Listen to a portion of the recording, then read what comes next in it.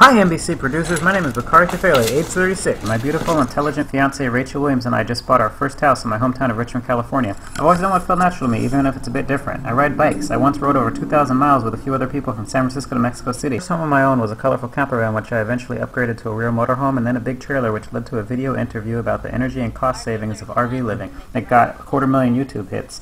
I like to fix and build things, so I work as a handyman. I'm vegetarian and my work truck runs on biodiesel, so I call my business Veggie Powered Truck and Handyman. I modified my truck to get better fuel mileage, and I can get 30 mpg out of my 30-year-old diesel work truck when I used to get 15. That project got me another YouTube-based interview. I'm on to bikes, so I work part-time as a bike mechanic for a couple community service nonprofits, and I have one of the most popular blog posts on buying a good used bike. I'm a member of the U.S. Coast Guard Reserve, so on some weekends I'm out on the San Francisco Bay ready to respond to search and rescue missions.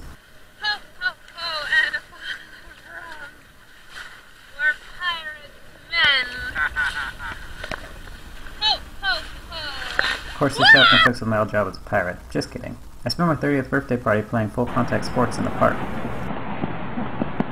I act in murder mystery style live action games as the alien ruler of the galaxy, a spy, fish tar king of the ocean. Most years I run the local Bay to Breakers 7K dressed as a stripper complete with a boombox, so everywhere I go it's a party.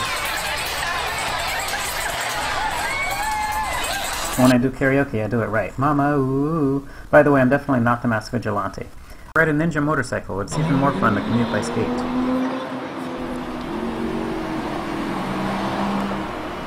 And sometimes unicycle. Unlike a lot of people trying out for this show, I was never a real athlete. I'm just a guy who never fully grew up and has taken every opportunity I could to run around and jump and climb on things. The very first time I tried out a Ninja Warrior style obstacle course, I was able to do them all on my first try, so I thought to myself, hey, why not try out? Now that would be one heck of an adventure, and I'd have a chance to play on one of the greatest playgrounds ever built. Golden White Guy. nice.